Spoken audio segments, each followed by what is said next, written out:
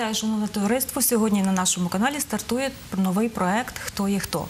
Ми його так назвали, тому що маємо на меті познайомити глядачів і це е, майбутніх потенційних виборців із людьми, які вже впливають чи в майбутньому будуть впливати на наше з вами життя. Отож, е, сьогодні у студії.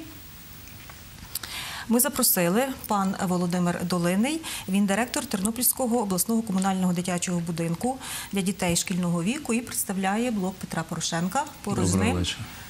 Е, Поруч з ним е, Олег Сиротюк, е, член політради Всеукраїнського об'єднання Свобода. Ларис, пані Лариса Риман, Римар, голова громадської організації Спілка власників землі і представляє громадянську позицію Анатолія Гриценка. І громадський діяч і політик нової генерації Іншої. іншої, перепрошую, генерації, е, відомий тернополянин Олександр Башта. Вітаю. Я вітаю товариство. А нашим глядачам нагадаю, що ми працюємо у прямому ефірі. Е, Телефон е, нашої студії, як завжди, 25 25 97. Він буде виведений на екрани. Отож, прошу долучатися до розмови. Е, А сьогодні ми обрали тему розмови, можливо, е, трохи е, тривіально, тому що всі вже про це говорять. Ми хочу поговорити про зміни до конституції, а зокрема про децентралізацію влади. А хочу акцентувати на тому, що власне вона дасть для Тернопільщини, для нашого краю. Чи готова до неї Тернопільщина? Як нам бути змінами? Як, як наше суспільство сприйняло чи не сприйняло їх? Е, Я хочу, мабуть, почати з е, перше запитання адресувати власне вам, пане Володимире, так як ви представляєте партію, яка лобіювала у Верховній Раді ці зміни. Отож, е, прошу вам слово. Шановні глядачі, я вітаю вас з тим, що все-таки Верховна Рада проголосувала за ці перші зміни, які потім розгляне Конституційний суд. І, звичайно, зміни до Конституції будуть прийняті е, конституційною більшістю депутатів. І хочу сказати, що децентралізація це є перерозподіл влади на користь місцевих громад, тобто із зменшенням саме прав президента. Повноваження переходять від президента до людей. Е, Взагалі-то більшість повноважень переходять на базовий рівень е, самоврядування, тобто село, селище, місто.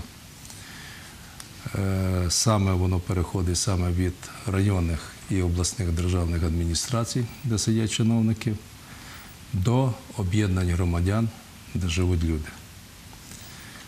Децентралізація це є шанс створення незалежних, фінансово незалежних громад, які зможуть самостійно утримувати, що на сьогоднішній день не відбувається і садки, і школи, і амбулаторії, і будинки культури, і клуби, і дороги. Тобто вони зможуть вже реально сприяти підвищенню якості життя жителів окремого населеного пункту. Е, Громади, е, які вже і з приближення виборів будуть формуватися, е, будуть мати широкі повноваження у вирішенні місцевих проблем. І саме головне, це вони будуть мати відповідні податки і збори, тобто вони будуть мати необхідні ресурси для здійснення цих своїх повноважень. Е, Сама громада, тобто вона буде обирати голову територіальної громади і в окремому населеному пункті старосту. І відповідно буде приймати рішення, враховуючи ті е, кошти, які в них будуть, е, на утримання чиновників. Бо сьогодні ніде правди діти, е, голови та інші чиновники отримують зарплату стабільну, яка практично не впливає на покращення якості життя в кожному населеному пункті. А тоді вони будуть знати, скільки приймати людей, які повинні обслуговувати громаду, і відповідно е, забезпечувати життя на оцій окремо взятій території, що люди не будуть їхати десь далеко за довідками, що люди можуть вирішити на місці свої інші питання. Ну а враховуючи те, що із 1 січня внесено зміни до податкового е, законодавства і е, бюджетного кодексу, е, з чим збільшили уже, якщо взяти по Україні, більше на 39 мільярдів гривень кошти місцевих громад і додатково, наприклад, для Тернополя. Е, Десь до більше 250 мільйонів, за рахунок чого сьогодні, наприклад, якщо хто бачить, в ра- в місті відбуваються досить такі зміни, тобто і робляться дороги, і будуються тротуари, ремонтуються і проводяться інші роботи. Але це людям треба знати, що це не тільки е, чисто е, там якісь передвиборчі технології, а це якраз завдяки оцим першим крокам оцієї самої децентралізації, саме фінансової децентралізації. Для того, щоб громади не мали спокуси бути сепаратистами, для того створюється інститут префектів.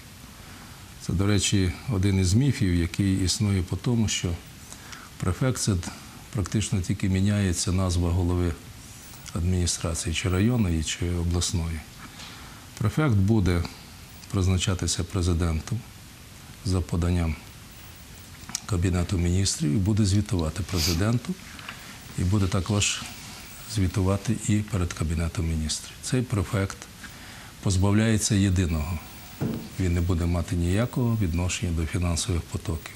Тобто зараз, якщо треба вирішити питання з грошима, то все вирішується на рівні обласних державних адміністрацій.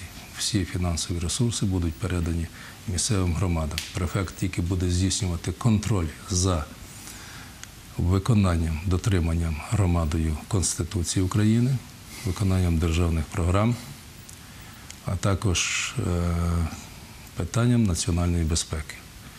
І коли відповідно громада буде грішити якимись рішеннями незаконними, префект буде мати право призупинити це рішення з відповідним поданням президенту.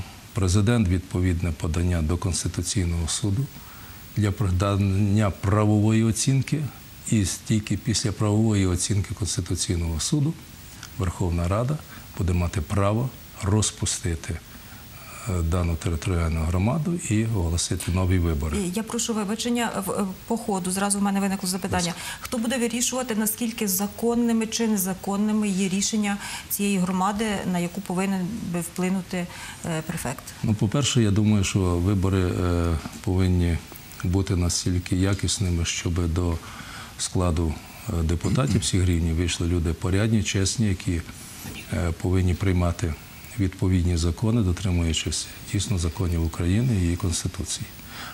А якщо е, закони будуть порушувати це, то для того от і є префект. І посада префекта, е, вона показала себе досить якісно у Франції, в інших країнах Європейського Союзу. І обов'язково повинен бути контроль. До речі, знову ж таки ремарка. Я собі дозволю. Сьогодні я прочитала народний депутат, якщо не помиляюсь, Юрій Ключковський. Він якраз порівнював ці речі з Францією. То там префект е, не має права бути більше ніж 7 років на посаді, і він не повинен бути родом з цього регіону, де він е, буде е, призначений префектом. Я не знаю, чи є такі ремарки у нашому. У наших змінах, от, от, Всі, цікаво було. всі зміни тоді є час до кінця року провести повністю аналіз і допрацювати ці зміни до Конституції, і окремі закони теж будуть прийматися на виконання змін до Конституції, і це будуть е, тоді визначатися точно.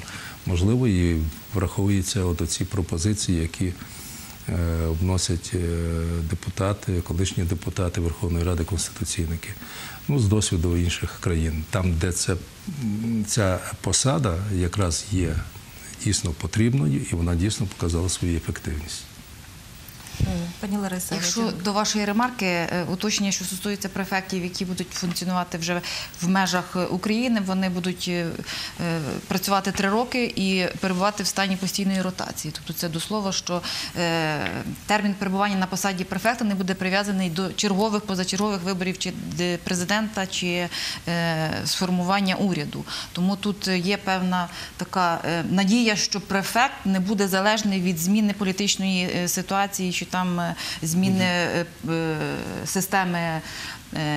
Ось і ще головна умова, те, що можна схвально сприйняти, що він має бути обов'язково позапартійний. Це, це до слова щодо е, про перфектів, але якщо дозволите загалом по питанні, яке ми Так, сьогодні говоримо, І чи чиновники всі повинні бути позапартійними, які будуть обслуговувати відповідно Це службу для України. Це ідея для України справді. чи ми Бути поза життям. Мрія, мрія. Мрія, ні, повинна бути реальність. Так що, пані Лариса, ви ще щось так. Так, я хотіла власне повернутися до ем, взагалі до цієї теми. Вона настільки глобальна, обширна, і на фоні того, що ми сьогодні маємо в Україні з одного боку війну, з іншого боку, таку затяжну глобальну кризу фінансово-економічну. Ми ще маємо е, зобов'язання перед нашими міжнародними донорами забезпечити проведення реформ. Власне кажучи, ем, я з власного досвіду, працюючи в громадській організації спілка власників землі, маю, ну скажімо, більше негативний досвід спостерігати за тим, як проходила земельна реформа.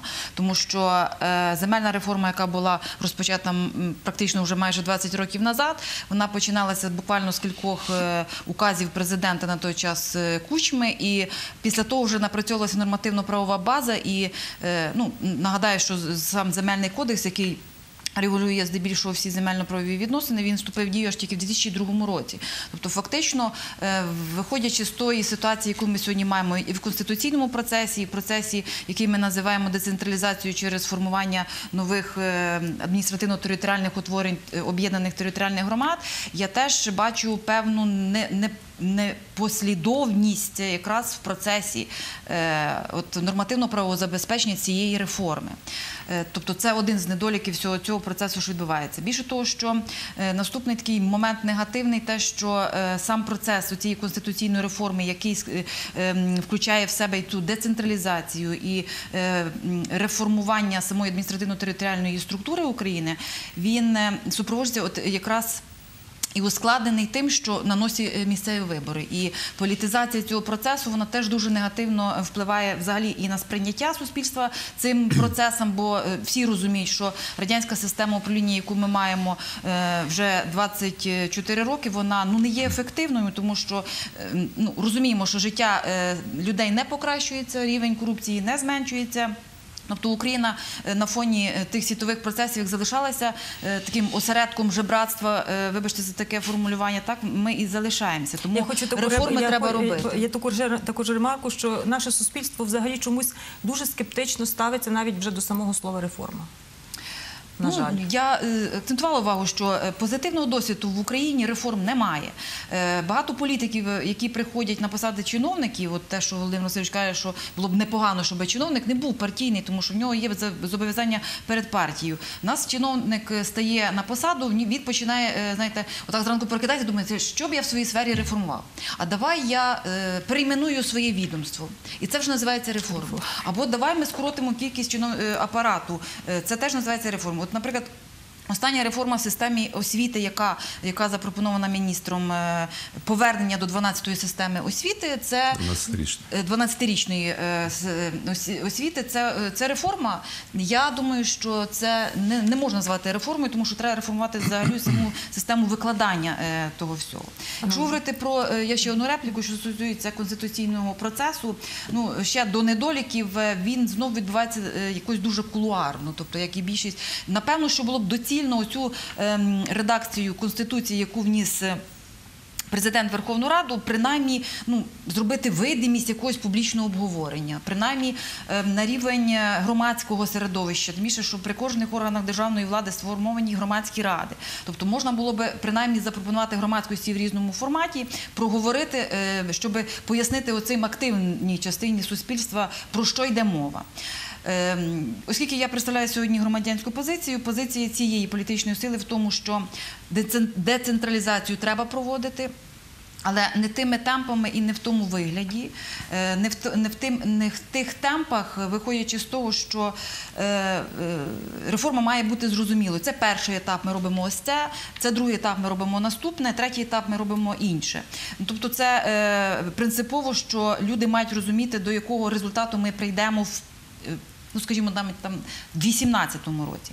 Е, щодо іншої е, складової цієї реформи, це питання особливого статусу для окремих територій Донецької і Луганської Ну, це камінь спотикання взагалі. Е, Власне кажучи, що це саме болюче питання, оскільки громадянська позиція. Заявляла і заявляє, і буде вимагати через різні політичні інструменти е, мінські угоди, через е, ухвалення спеціальних положень в Конституції України. Вони не мають права на існування в принципі. І ось знову ж таки, оцей конфлікт і політичний, і суспільний він базується на тому, що на догоду одній країні, яка змусила підписати е, ці мінські угоди, сама їх не виконуючи, зобов'язує нас підлаштувати під чиїсь, скажімо так, політичні примхи е, цілу конституцію. Ми ж конституцію не будемо переписувати там на вигоду когось. І саме. Лякає те, що світова спільнота вона вже втомилася від України, в принципі, від її ну нездатності якось е, ну. Якоїсь е, здатності бути самодостатньою, Якось дати собі нарешті раду. Так, тому знову ж таки конституційний процес потрібен. Він має тривати, він має бути публічний, він має бути зрозумілий. І те, що сьогодні, якщо ви помітили по результативності цього голосування, кількість депутатів, яка підтримує е, в тому вигляді е, проект конституції, зменшена, зменшилася. Тому ну. За моїм прогнозом, сподіватися, що е, конституційна більшість цей е, документ прийме без суттєвого коригування, ну е, дуже шанси примарні. Єдине, що я тепер в контексті децентралізації, на якому етапі Тернопільська область, знову ж таки, я не знаю, чи наскільки це добре, бо ми не можемо прогнозувати політичної волі взагалі парламенту. Але сьогодні Тернопільська область попереду всієї планети. Це з одного боку дуже добре, оскільки е, на старт на місцеві вибори 25 жовтня виходять 26 об'єднаних громад. Тобто це найбільше в Україні. Цей процес був дуже складний. Олег Мирославович в курсі як представник політичної партії «Висода», е, чому Верховна Рада спеціальний закон ухвалювала буквально на днях е, під Тернопільську область, щоб дати можливість реалізувати ем, наміри е, окремих громад області, спробувати, як це жити в умовах децентралізації. Тепер, чому я згадувала про ризики щодо політичної волі парламентарів, я просто хочу нагадати, що в 2014 році. Місцеві бюджети мали одну систему формування бюджетів. В 2015 році в них забрали, особливо в сільських бюджетів, е, такий, як ми кажемо, головний податок це по- податок з доходів фізичних осіб. Тобто його забрали, показали, як без нього погано. Тобто ви просто змушені кудись об'єднатися, бо в нас іншого виходу немає. А на 16-й рік, тобто ті об'єднані громади, їм зараз обіцяють ну, високий рівень преференцій, в тому числі от якраз і цих бюджетних, про яких Володимир Васильович згадував. Тобто, як воно буде працювати і у цій системі, подвійній системі координат, ми ну, побачимо, бо зрештою е, ми це ще не проходили. Ось, але е, я особливо особисто працювала в е, робочій групі з розробки проекту перспективного плану. Бува- Бувала і на сесіях сільських рад, з людьми треба говорити. Тобто люди багато речей не розуміють, але наші люди розумні, вони розуміють там, де добре, значить до того треба прагнути. І ем, я побачила, от по тій активності цих місцевих громад, які хотіли е, все-таки бути в процесі, е, скористатися своїм шансом на це добровільне об'єднання. Тобто я помітила е, ну, достатньо високий інтерес до цього процесу, і ну, він увінчався саме такими результатами. Якщо дозволите, я, оскільки тут розмова ведеться за мінські домовленості і саме е, статус е, окупованих територій, е, на моє глибоке переконання, 31 серпня у Верховній Раді і під Верховною Радою було відкрите другий внутрішній фронт боротьби проти української незалежності. Дивлячись на ток-шоу, які я сам як громадянин дивлюся, і дивлюся, як засмічують розум людей, наших виборців, окремі політики, бо що сказав би, політикани, популізмом, обманом, та немає там ніякого статусу Ну, ми зараз ще до статусу Ну немає дойдемо. там, розумієте? Ви- Немає там, я перепрошую, Лариса Романівна, ну треба сказати, що там немає, що міф створений за те, що президент хоче авторитаризм, як він віддає, що префекти і так далі. Для чого обманювати людей? Пане Володимире, ви вже йдете поперед України всієї, а я все-таки хочу надати слово пану Олегу. Е, Я гадаю, що це досить е, він представник політичної сили, яка має зовсім інше кардинальне бачення цього питання. Ну, перше ніж відповісти на ваші запитання і тему нашої дискусії, хочу сказати дві ремарки. Перше, багато років ми чули про те, що Конституція Української держави одна з кращих в Європі, в світі, про те, що там збалансовано е, співвідношення різних гілок влади і так далі. Але ми зайшли в конституційний процес. Після виборів до Верховної Ради 2014 року в грудні була підписана коаліційна угода. Нарешті в коаліційну угоду, де було понад 300 депутатів, конституційна більшість записали необхідність зняття недоторканості з народних депутатів. Що є змінами до Конституції? Вже скоро буде рік. Є 300 голосів, є бажання людей, ніхто про це навіть не згадує, але виявилися більш важливі теми по внесенню змін в Конституцію. Друге питання, коли ми говоримо про зміни і про статус, є наша чітка позиція. В зміни до Конституції окремим рядком записано згадування закону про особливості е, е, місцевого самоврядування в окремих районах Донецької Луганської областей. Це є ті регіони, які окуповані терористами, сепаратистами, російськими військами. І далі йде посилання на той закон, який є прийнятий. А в тому законі є цілий ряд норм, які викликають надзвичайно багато запитань не лише в свободи, але й в українського суспільства, і в тих людей, особливо, які на східному фронті з тими терористами і бандитами воюють. В законі передбачена можливість амністії для тих всіх терористів. В законі передбачена можливість їм провести вибори. В законі передбачена їм можливість е, створювати так звану народну озброєну міліцію з тих бандформувань, які там існують. В законі передбачено про те, що вони самі будуть призначати своїх суддів, прокурорів, створювати систему юстиції. В законі передбачено про те, що українська держава захищену статтю державного бюджету передбачають кошти на відновлення інфраструктури оцих районів. Оце і є особливий статус. Як його не називає, як його не переінакшу, він є. І зміни в Конституцію продиктовані власне, мінськими домовленостями, тому що в мінських домовленостях визначено, що до кінця року мають в Україні пройти зміни в Конституцію, до кінця року на окупованих територіях мають пройти вибори. До речі, вони вибори вже оголосили. І я так розумію, що українська влада. Збирається їх визнати, бо коли нашому президенту поставили запитання, що буде він робити, коли Захарченка і Плотніцького виберуть на виборах, то він відповів, що це буде вибір людей. Ми будемо з ними рахуватися. Це не, ну, не вибір людей, а вибір тих, хто живе на окупованих територіях і фактично підтримує оцю окупаційну владу. Але вертаюся до питання змін до централізації. Перше, що хочу сказати, в змінах до конституції, які голосувалися 31 серпня в Верховній Раді, ніякої децентралізації немає, тому що. Е, Я якби з повагою ставлюся до всіх учасників нашого ефіру, але всім представникам блоку Петра Порошенка підготували тези для озвучування, які не мають нічого спільного з діючою законодавчою базою. Все, що про що ми можемо зараз говорити, це є зміни до конституції. Тому беремо текст змін до конституції і дивимося, що там написано. Отже, ми маємо в тексті конституції в діючій виконавча влада в, на місцях здійснюється місцевими державною адміністрацією. Зміни до Конституції, виконавча влада здійснюється префектами. Був колегіальний орган, став одна особа. При тому, що ми всі пам'ятаємо Революція Гідності, Майдани. Всі, хто був на сцені, казав, ми скасуємо місцеві адміністрації, вся влада е, передається на місця, місцеві депутати формують виконкоми, які здійснюють виконавчу владу. Були вимоги? Були. Пишуть зміни до Конституції. Ті, хто стояли на сцені, це говорили. Жодного слова про це немає. Діючій Конституції голова місцевої державної адміністрації підзвітний, підконтрольний депутатам місцевої ради в частині делегованих повноважень. Депутати можуть викликати е, голову адміністрації, керівника департаменту, що він прозвітував про виконання однієї програми, виконання тих завдань чи інших. В змінах до Конституції ця норма забирається. В теперішніх умовах голові адміністрації місцеві депутати більшістю від складу можуть висловити недовіру, якщо він робить щось не так, що би мало робитися на місцевій території. Зміна до Конституції це право в депутатів забирається. Де децентралізація? Покажіть, які повноваження в змінах до Конституції надаються місцевим громадам? Жодних.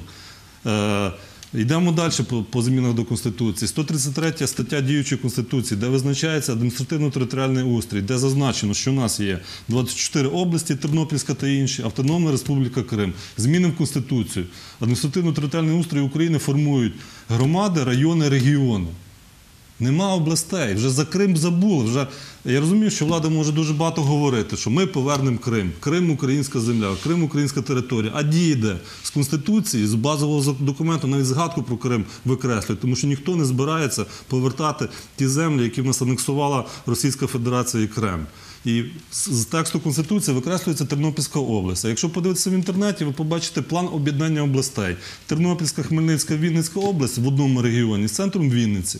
От вам адмінреформа. Об'єднання громад в більші утворення, об'єднання районів. В Тернопільській області планують створити три райони. Треба говорити до кінця правду. Кременецький, Тернопільський Чутківський, а область об'єднається з центром Вінниці. От вам буде адміністративно-територіальна реформа. Наближення надання якісних послуг для людей до людини. Тепер ми бачимо, що було 4 вересня голосування в Верховній Раді так званого цього законопроекту 3008 про е, перші вибори в об'єднаних громадах. Тим законом, фактично з 4 вересня, тому що за один день було під, проголосовано, підписано головою Верховної Ради і президентом закон, який вступив в дію. Об'єднали 234 громади в Тернопільській області в 35 об'єднаних громад. Тобто фактично перестало існувати 290, е, 194 громади, яким законом заборонено зараз вчиняти будь-які дії стосовно майна громади до проведення них виборів. Вчора дивимося постанову Центральної виборчої комісії. З тих 35 громад вибори призначили тільки 26, а в 9 не призначили. В ті 9 об'єднаних громад входить 64 населених пункти, серед яких є е, три селища міського типу: Вишнівець, е, Товсте, е, і ще одне селище. Є три міста: Заліщики, Хоростків і Чортків, місто обласного підпорядкування, де вибори не призначені. 64 громади об'єднали, заборонили їм чиняти будь-які дії, а вибори не призначили. Але я вам скажу більше, чому не призначили. Тому що коли почали дивитися документи в ЦВК, виявилося, що нема всіх документів на об'єднання тих громад. Тому що або нема рішення, або рішення підроблені. І ЦВК не взяла на себе відповідальність призначити вибори в тих громадах, де є фактично фальсифікація документів. Хто за це буде нести відповідальність? Юридичну, кримінальну, іншу. Питання децентралізації дуже багато фальші, брехні і неправди, яку влада говорить людям. Тому що децентралізації в змінах до Конституції немає. Немає ніяких пере- передачі повноважень від центру до громади. Немає скасування вертикалі виконавчої адміністрації, є перейменування їх префектури, фактично з функціями прокурорського нагляду, що вони можуть зупиняти рішення органів місцевого самоврядування. Вони можуть е, на рік часу відстороняти законообраних депутатів і голів від виконання обов'язків і на рік часу вводити свого окремого представника, який буде вирішувати долю населених пунктів. Якщо б така конституція була за Януковича, у нас би не було ні революції, ні перемоги на Майдані, тому що вони б з такими змінами зробили що завгодно. Прийняла Тернопільська обласна рада, яка поїхала в Київ, провела сесію на Майдані. Вона б на другий день була розпущена, і замість обласної ради би був якийсь регіонал, який би вирішував долю області. Прийняла Тернопільська міська рада підтримати студентів на Євромайдані. Її би на другий день вже не було. А ми не повинні виключати можливості реваншу. Тому що те, що зараз відбувається, те, що було 31 серпня, це була перемога партії регіонів, яка у вигляді опозиційного блоку, депутатів групи відродження, воля народу, які є в Верховній Раді, аплодували стоячи, тому що проголосувавши зміни до Конституції, це була їхня перемога, це було їхнє голосування. З 300 депутатів коаліційної більшості тільки 200 проголосувало за зміни до Конституції, а решта 65 голосів це були регіонали, які святкували свою перемогу, тому що їм потрібна ця Конституція, бо вона легалізує Захарченка, Плотніцького, всю цю банду, яка є на Сході і вбиває наших солдатів, воює проти нас, а їх наша влада узаконює. Найгірше, що для нас зараз є, це коли наша влада в- співпраці з Кремлем і з Путіним працює проти України, тому що так написали мінські домовленості. Що це взагалі за документ? Він має якусь юридичну силу, тому що його підписав Кучма, тому що Україну на мінських переговорах представляє генерал КГБ Марчук і кум Путіна Медведчук, Шуфрич. Це вони представники України е, в Мінську в контактній групі. Це вони нам дають завдання, як українська влада повинна змінювати конституцію. Це є боротьба проти України. Сьогодні згадувалося кредиторів, тому що це ще є їхні вимоги. Кредитори це не є благодійники. Кредитори це є е, фактично бізнесмени, які під проценти нам надають кредит і ставлять свої вимоги. Вони хочуть, щоб в Україні, наприклад, е, виставили на продаж стратегічні підприємства. Вони хочуть, щоб в Україні на продаж виставили е, землю сільськогосподарського призначення, яка, до речі, з 1 серпня закінчується мораторій на продаж землі СГ призначень. І кредитори дуже зацікавлені з 1 січня 2016 року. І кредитори дуже зацікавлені, щоб українська земля стала товаром. Вони сюди приїдуть і все це скуплять. Як стратегічні підприємства, як е, землю, це їхні вимоги. І ми в цих умовах, коли ми скинули режим, коли ми побороли банду, коли вона втікла, коли ми ведемо війну на своїй землі, ми повинні розуміти пріоритет українських інтересів. Хочемо перемогти, значить ми повинні від цього відмовитися. Від фабрики в Ліпецьку, яка успішно працює, президентська е, фабрика в Росії, сплачує податки. На ті податки росіяни забезпечують терористів зброєю, вони вбивають наших солдатів, а ми говоримо про децентралізацію, про те, що ми боремося за свої інтереси. Правду треба людям говорити. А якщо влада пішла шляхом брехні і обману, така влада довго існувати не буде. То, пане Олеже, Немає то вже- ніякої то вже децентралізації. правду. що Ви ж самі називаєте закон. Закон прийнятий давно про особливий статус. Ну, наше ви вводите блуд людей, коли ви називаєте за той закон, який давно проголосували депутати і ніяке відношення до змін до Конституції немає. Безпосереднє відношення. Чому Тому що Росія, чому Путін незадоволений, абсолютно незадоволений цим голосуванням? ви знаєте, чим Путін задоволений, чим не задоволений. Ну так, а чому весь світ нас підтримує? Чому світ нас весь підтримує за це голосування? Світ нас не Е, підтримує. Справа в тому, що е, ми, є люди, Так. які дивляться Я розумію, що російські треба маніпулювати, канали, і є е, пропаганда. Але якщо я розумію, що якщо треба ви почитаєте свідомістю, але ж говоріть правду. Якщо ви почитаєте західну пресу, Guardian, газету англійську, New York Times і так далі, там чітко білим, чорним по білому написано, що голосуванням 31 серпня в Верховній Раді українська влада визнала владу на окупованих територіях за сепаратистами і терористами, що Порошенко приймав е, рішення під дулом е, пістолета під час мінських домовленостей. Це говорить західна преса. Я розумію, що в когось є більше часу на російські телеканали, на їхню пропаганду. Почитайте, що говорить світ. Вони це розуміють. Чому ми цього не розуміємо? Що українська влада має керуватися українськими інтересами, захищати інтереси української нації. В будь-яких діях. Якщо ми говоримо про децентралізацію, покажіть мені хоча б одну статтю в Конституції, де передаються повноваження. Назвіть номер статті, номер змін, де повноваження передаються. Нічого там немає. Є посилення виконавчої влади, вертикалі президента і жодного повноваження на місця.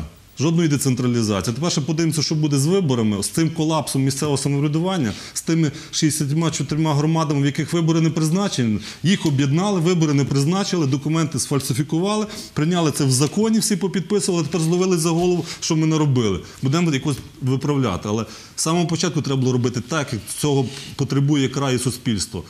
Ліквідація Тернопільської області це є, на, на, доп- е, є краще для тернополян. Пишеться за ліквідацію? 133 стаття змін до Конституції. Візьміть і прочитайте. Прочитайте. Я е, ще раз е, хочу сказати, що ще більше переконуюся, слухаючи Шустера, слухаючи Чорне зеркало, слухаючи пана Олега.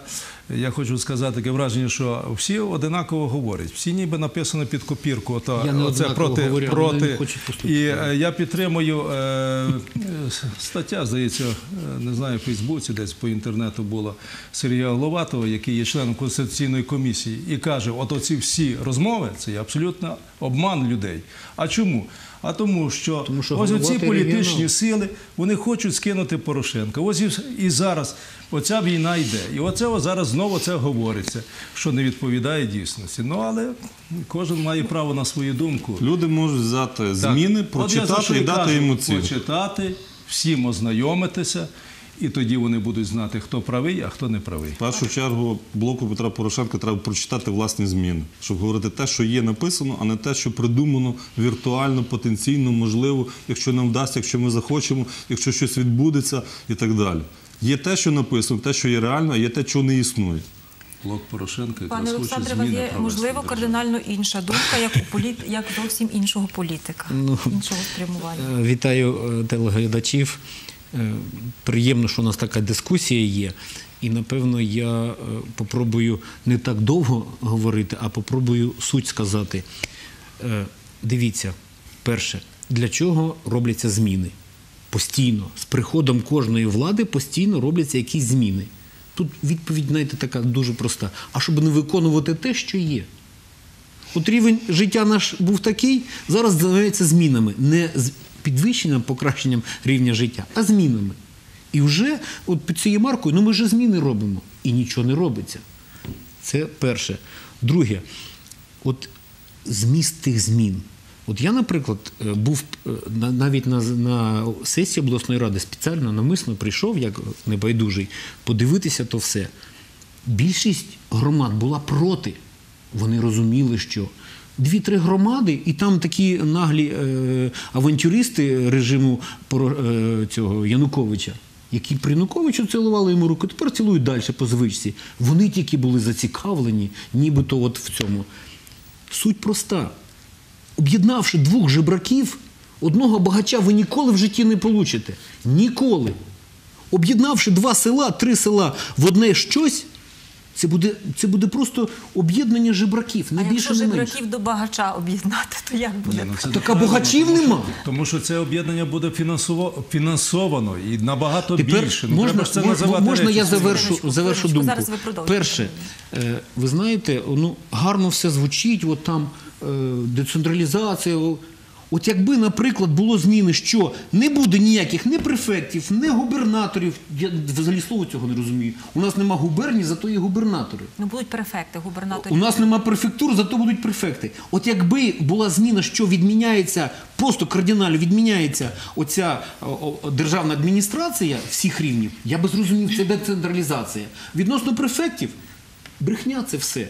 А для чого тоді міліція, прокуратура, суди, наглядачі? Навіщо вони тоді існують ці організації? В областях. Навіщо? Вони, вони, мають слідкувати за цим, щоб, як би кажуть, не було сепаратистів. Має бути повернений здоровий глузд в життя. Є область, в області мають обиратися голову області, обласним е, всім е, громадянам області, обирати до нього депутатів. Вони мають формувати виконавчі структури і працювати. Оце здоровий глузд, а не префекти, поліцаї, наглядачі. Це відносно децентралізації. Саме головне завдання змін до Конституції від влади, знаєте, яке було?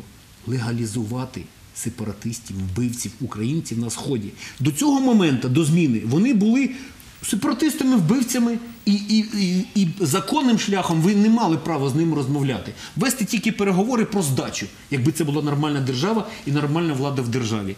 На сьогоднішній день головне їхнім завданням змін в Конституції навіть не було, пане Олеже, тих там, що їх там випроводити. Це все було для відмазки глаз. Головне їх легалізувати. На сьогоднішній день, якщо приймуть основну е, цю зміну, вони будуть легальні, і ми мусимо офіційно з ними розмовляти. Вони будуть представниками тої влади, тої відірваної частини України. І все. Відносно мінських домовленостей, тут взагалі навіть немає говорити. Перша нормальна людина, яка би просто подумала, чому кучма, і все. У нас є діючі політики, у нас є діючі політичні сили, які мають ці питання вирішувати. Хто такий кучма? Ми проти нього вставали. Згадайте акції. Він просовував нам Януковича. Ви кажете, голова того послухати? Та це прислужник регіоналів. І взагалі мені хотілося, щоб люди задумалися, що людей, які в якійсь мірі привели своїм чи противсіхівством, чи свої, своїми якимись там переконаннями Януковича до влади, треба відсторонити від політики. Ну, не, не в плані там їх як ізолювати, ні, а їх не треба слухати. То, що вони нарадили нам, і нам прийшов Янукович, і 4 роки він знущався, а тепер ми маємо і Небесну Сотню, і небесні батальйони. Якщо ми це не припинимо, Україна без кучми якраз починалася в тому числі і з Головатого. Давайте все-таки подивимося. Але не це флюгери, які плавають при всіх е, владах. Я розумієте, от мене е, от знову ж таки ще раз повертаюся до того. Ну, пан е, Олександр Башта він завжди підтримував батьківщину Юлії Тимошенко. Батьківщина проти. Пан Олег підтримує проти. Ще, якби ви сюди посадили представників радикальної партії, повірте, би було все одинаково. Все одинаково, так само, як в Києві говориться, як в телебаченні говориться, як на круглий Скажіть стол. тоді на наступний раз, кого мені ще запросити, щоб був паритет. Е, Паритет, паритет. Люди наші для паритету розумні, тут вони має в бути усьому розберуться, а думаючи, інтелігенція обов'язково це почитає і буде знати. І м, просто е, е, розраховано. Ну це ж зомбується вже ж не, не перший день і не перший місяць людей. Щоб сказати, що Порошенко поганий, що Порошенко. Зрозуміло, є реванш. І я ще повертаюся до того, що я говорив. Почата нова внутрішня українська війна. Не вдалося росіянам на фронті нас перемогти. Так от треба бардак зробити в державі, щоб ми отут почали чубитися, щоб людей одного на другого налаштувати. Ось і все. Знаєте, я своїми побратимами, своїми хлопцями в липні місяці якраз був е, на місці розташування наших збройних підрозділів на сході. Якраз коли голосувалися перший раз зміни до конституції в липні місяці, 16 чи 17 липня, коли висновок направляли в Конституційний суд. Було дуже важко дивитися на них, коли вони розуміли, що зробила Верховна Рада, проголосувавши. Тоді було більше голосів, тоді було 288 голосів. І так само опозиційний, блок голосував, направляючи це в КС. Вони без радістю хотіли побачити всіх, хто підтримує ці зміни в Конституцію на передові, щоб туди поїхали народні депутати. Переконали їх, що це так добре буде для нашої держави, що буде децентралізація, що немає ніякого визнання сепаратистів. Я думаю, що бійці на передовій би всім все пояснили, і нас би скоро були дострокові парламентські вибори. А Конституційний суд, куди направили висновок, миттєво, буквально за тиждень часу дав позитивний висновок, що зміни відповідають Конституції самій. При тому, що серед шести суддів, які давали це подання, є шість суддів, так званого ще за режиму Януковича, які тоді так само легалізували ті зміни, які потрібно було Януковичу, і проти яких зараз порушені кримінальні провадження за узурпацію влади як співучасники режиму Януковича. Оті самі, проти кого зараз порушені кримінальні справи, вони легалізували ці зміни до Конституції. Тому є дуже багато запитань. І не потрібно так само вводити в оману суспільство. Люди розумні, люди розуміють, люди вміють читати. Тому що є дуже багато слів про децентралізацію, але в жодній газеті чомусь президент не надрукував ці зміни, щоб люди побачили, як є, а як має бути. Дуже багато телеефірів, е, круглих столів, але тексту нікому не показують, тому що в тексті все стає зрозуміло. Я би трошки від теми відійшов, але як історик хотів би нас повернути у Англії е, в 40-му році. Англічани не критикували Черчилля.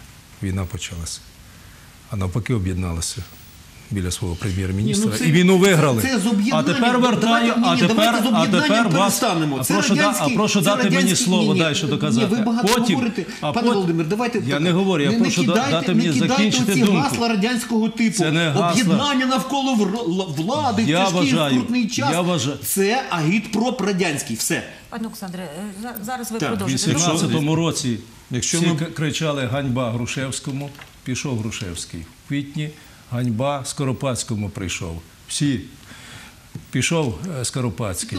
Прийшов Петлюра, ганьба Петлюри вигнали. Прийшли москалі Муравйова і знищили всіх тих, вивезли, порозстрілював всіх тих, які кричали ганьба Грушевському, Скоропадському, Петлюру. Хочете зараз це саме?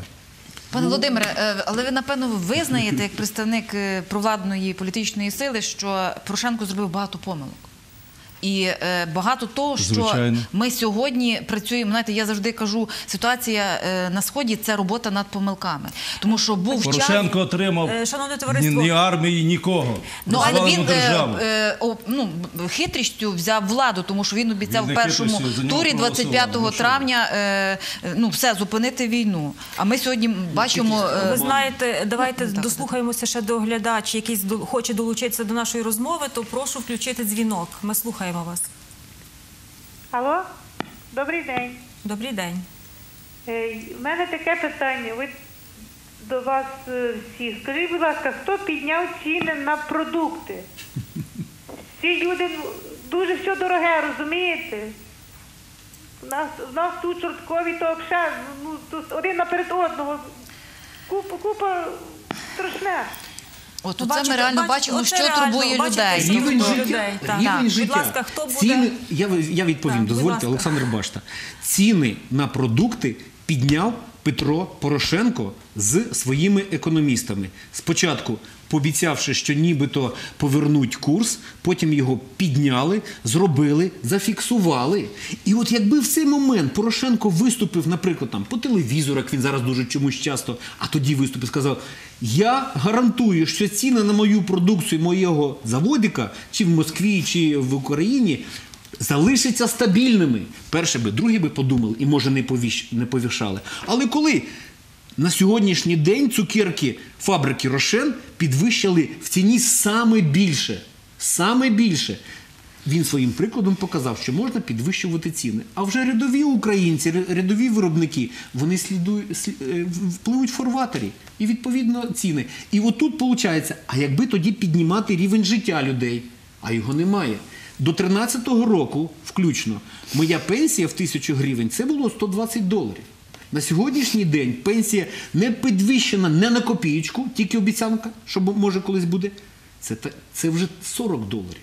Це, я не говорю, що там долари, а рівень просто мого життя. Скажіть, будь ласка, що хорошого зробив ла- влада Порошенко за півтора року своєї влади для підвищення рівня життя? У нас парламентсько-президентська республіка, і ви знаєте, хто визначає економічний курс, не президент. Це раз. По-друге, багатий президент, ні, багатий підприємець Порошенко в свій час міг забрати свої кошти, виїхати в Швейцарію.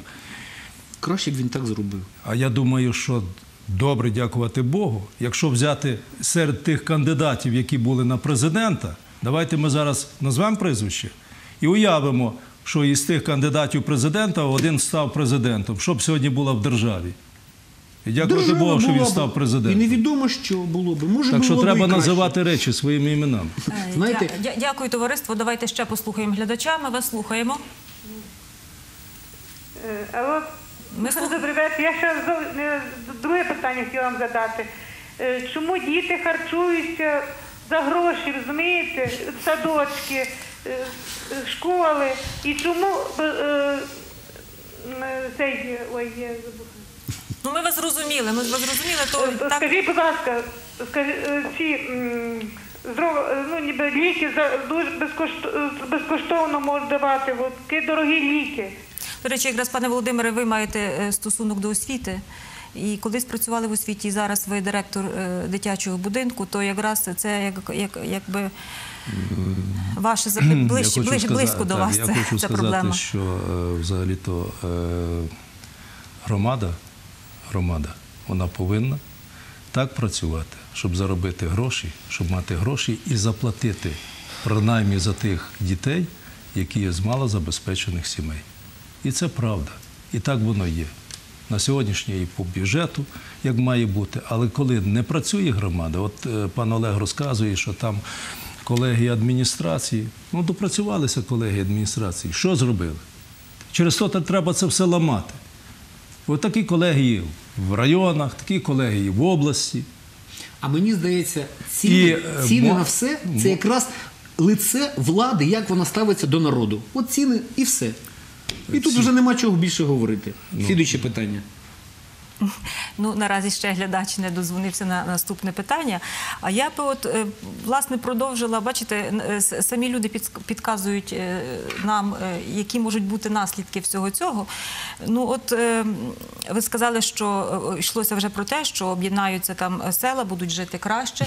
Скажімо, а як не будуть? От пройде рік і нема за що платити. І не зарплати, буде. Ти- ти розумієте, пенсії, не соціальні буде. виплати. Ні, Що потім, дивіться. що далі Ну, робити? чому Я- бюджет міста збільшився, а от в цій територіальній Дивіться. громаді, які утворюються, не збільшиться? Е, Пане от я не можу те, зрозуміти. що чому. утрірує, е, говорячи про те, що якщо двох жебраків об'єднати, значить вийде один великий жебрак.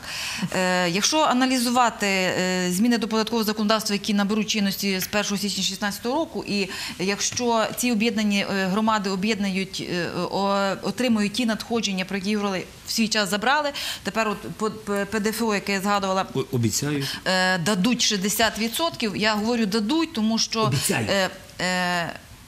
Політичної волі в нашого парламенту і його спроможності е, навіть в форматі коаліції ми вже побачили. Тобто ми не знаємо, чи можливо перед новим роком е, е, знов в зв'язку з тим, що треба не вистачає коштів на оборону, треба буде щось когось знов відбирати. Але за умови, що буде витримані ті норми, які є в чинному податковому законодавстві, які наберуть чинності, ці громади отримують суттєві надходження. Фактично. При е, об'єднанні е, згідно методики проводилися е, встановлювався індекс спроможності, коефіцієнт спроможності кожної громади. Тобто, фактично, я переконана, що держава. В особі Украї... нашої влади, яка взяла на, себе зобов'язання провести оці е, об'єднавчі процеси, вона в 16-му році, я, я просто впевнена, вона зробить все для того, щоб в об'єднаних громадах, отих е, 80 е, з чимось, е, майже 90, які по Україні, побачите, я не, обіцяю, що там буде комунізм, але е, всі кошти з фонду регіонального розвитку, які йшли на всю е, країну, Лякайте вони нас, пані Лариса, ми вже Е, комунізму Пані Лариса, а можна вас, а можна вас е, доповнити? От я хочу Так, прочитати всім громадянам, щоб знали. Бюджет громади, який Ой, буде Пане. Володимир, я прошу, буквально, бо Але я вважаю, що це М- дуже Ви зараз необхідно. прочитаєте, але ми тільки послухаємо глядача, бо може важко дозвонитися людям. Слухаємо вас. Ми вас слухаємо. Алло, Так, слухаємо. доброго вечора. Доброго вечора. Е, знаєте, я прожила життя, вже будували комунізм. Е, потім будували незале... будуємо незалежну Україну більше як 20 років. Пішла на пенсію. Коли жити? 36 років стажу. Е, скоротили, тому що не було роботи. Скорочення на підприємства йшли. І зараз я, з мене знімають скидку. Знімають, бо я не доробила до 57 років, 2 роки. От скажіть, будьте добрі, скільки років треба працювати на нашу державу чесно, платити податки, і щоб е, людин, до людини витерли ноги. Ще платити треба скидку. Ну, Прошу до вас дуже. Складне Зверніться з депутатським Ну, запитом до. Яценюка, який казав, що е, пенсію жінкам так зробили, щоб Колишній вони не дожили до неї.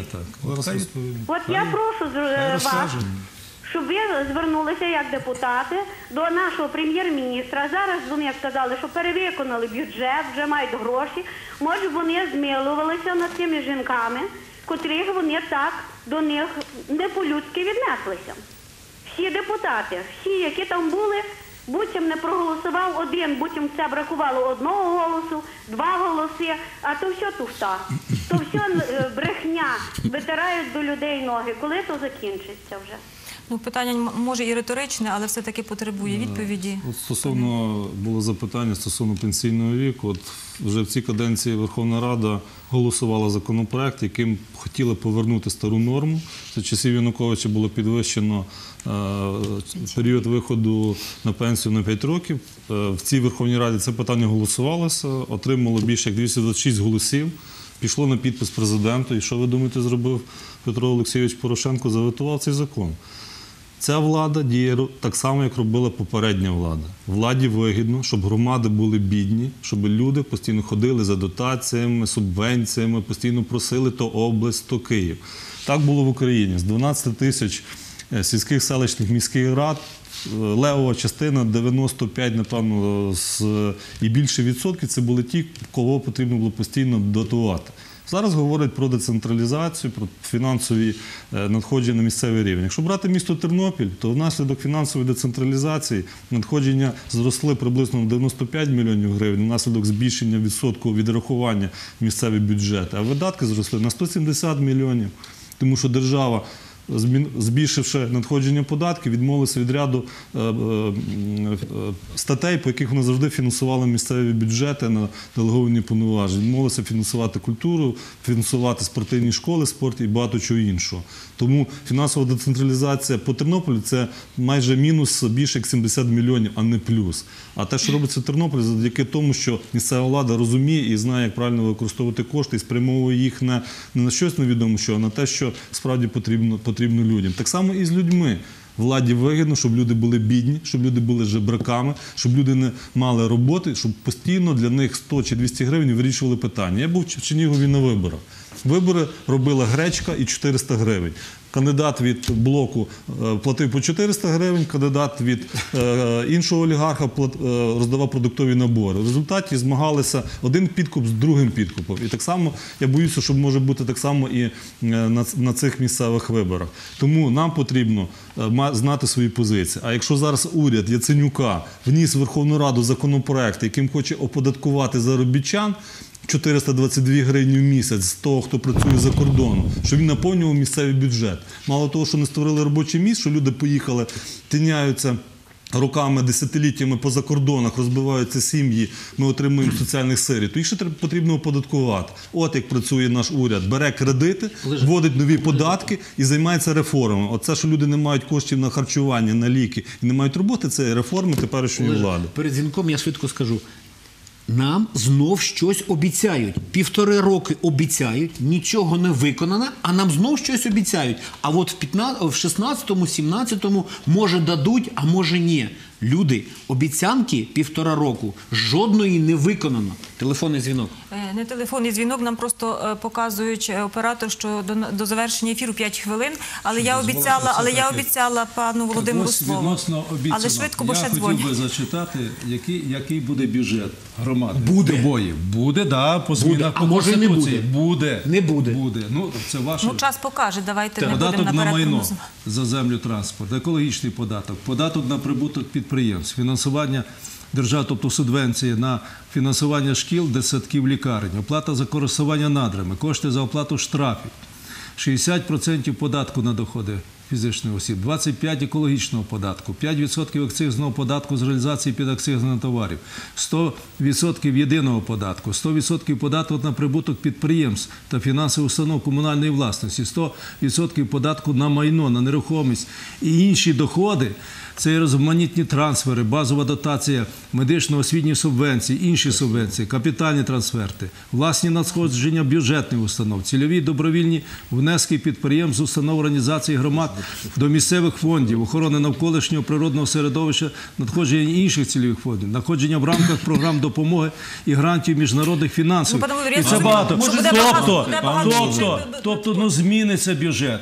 Пане Ну чого ви не вірите в це? Не віримо. Коли будуть Ну, так гроші на правильно. ліки, Так само чому краще покритикувати всі дії, нічого не робити. не підвищена. Значить, Не нічого не робити. Ну якщо ви так Ні, добре знаєте, владу чого ви не робите?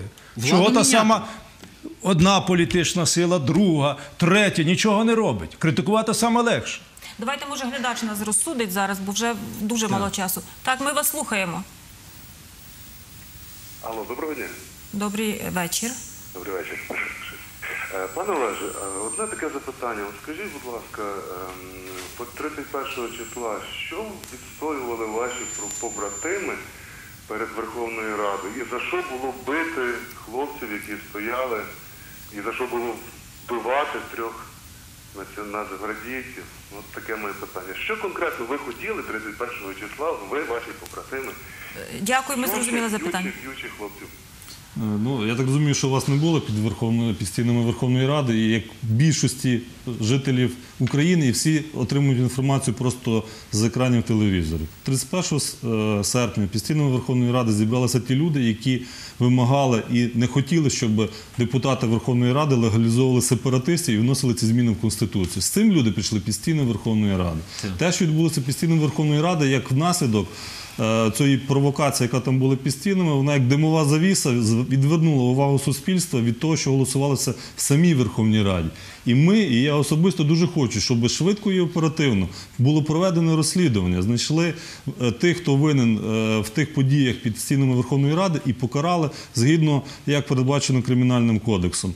І для нас є дуже важливо, щоб було проведено розслідування поведінки правоохоронців під стінами Верховної Ради, а саме заступника міністра внутрішніх справ Авакова Василя Пасхала, який мав попасти під закон про люстрацію, який з часів Захарченка і Януковича е, займався справами майданівців, а під Верховною Радою давав вказівки правоохоронцям кидати домові гранати, е, е, взривпакети і так далі в мирних громадян. Якщо б правоохоронці під стінами Верховної Ради не провокували ситуацію, не пішли своїми діями на звичайних людей, чого навіть не було за Янукович, такого не було, щоб в людей кидали е, е, димові шка- шашки, взривпакети і так далі, правоохоронці. Це все є на відео. І тому ми хочемо об'єктивного, швидкого розслідування, перенесення справи в суд, який має назвати винних в цій ситуації. Все, пане Олеже, я вам дякую. Е, Хто є хто? Ми побачимо, напевно, все-таки з часом. А час нашої програми вичерпаний. Товариство, дякую за увагу. Глядачам дякую, що долучалися до розмови. До нових зустрічей в ефірі. Всього найкращого.